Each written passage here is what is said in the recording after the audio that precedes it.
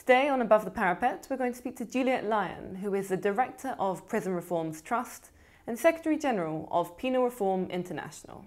So, your personal experiences of minor and more significant levels of, of your experience of sexism in the workplace, um, I'd be interested to know what have you had as a, as a coping mechanisms, or where do you get your resilience from when you realise that you were you were having such challenges?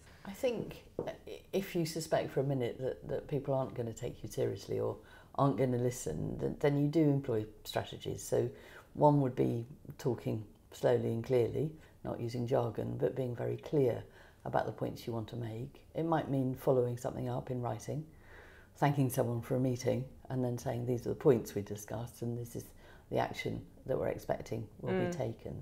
More often than not, I'll be meeting a male minister um, and trying to um, persuade, um, using evidence rather than using anything else, but persuade them to look at justice reform and things that obviously need to change.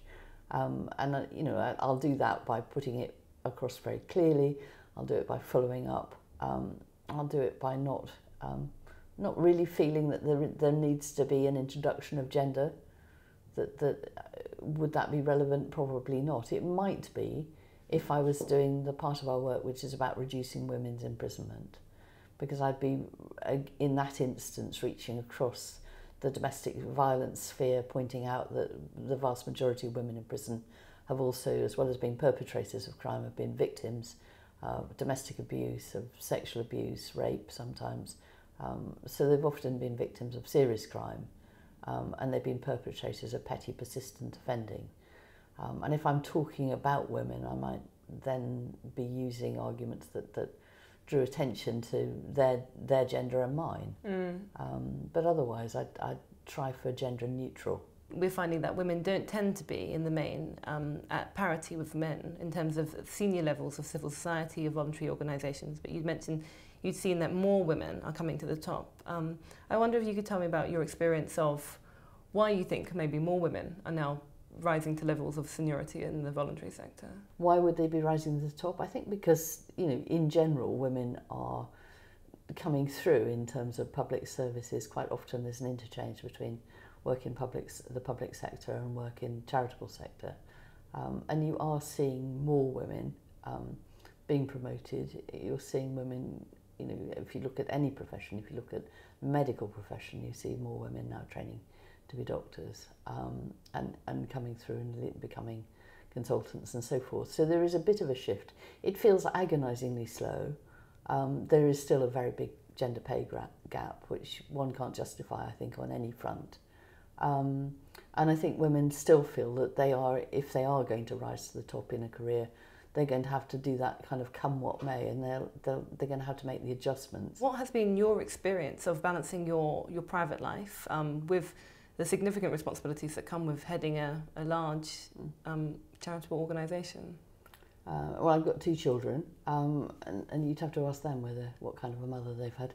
I, I worked, um, apart from taking a few months maternity leave and, and dropping trying to think whether I dropped a bit of part time into part time work for a short while. I think I can't even remember. But I mean, it's been a question of making things work. You know, if you want to do something, you make it work. Because I remember going back to work um, with fairly inadequate childcare, but thinking I've just got to make this work.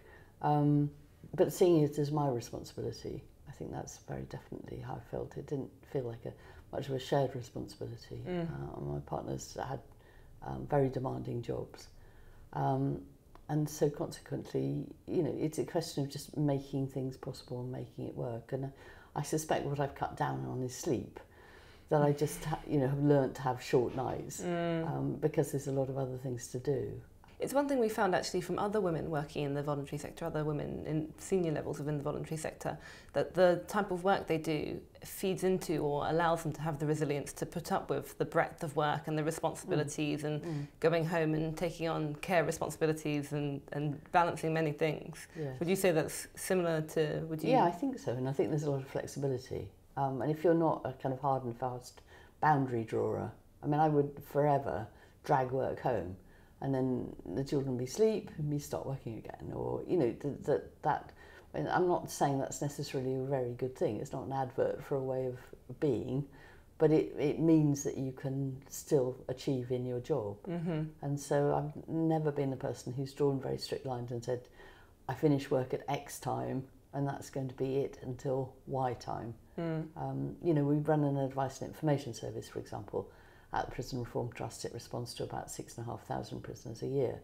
Um, across the weekend, um, when we, we need to have people on call, um, we're a very small charity, so I'll have a phone in my pocket and I might be phoned by somebody's mum who's wondering where he's turned up and what prison he's in, or somebody who's very anxious about a prisoner who might be suicidal.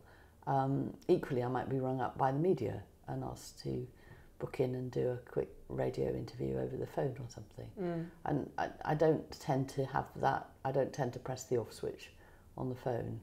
Um, another thing that we've heard is a lot of the interviewees we've spoken to have talked about the role of mentors or support networks or networks in their lives that have been useful for them um, as they've progressed through their, their professional journey. Is this, um, does that have any resonance with, with your journey? Mm, to, uh, to an extent. I mean, you, you know, one sadness I remember was that I, a group of my friends, because my friends matter very much to me, and a group of them formed a women's book group.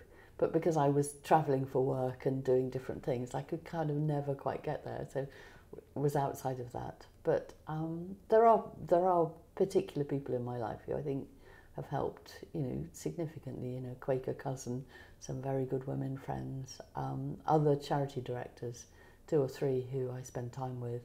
Um, you know, just so that you can kind of check different things, um, and a couple of the trustees Mm-hmm. who have been tremendous professional friends.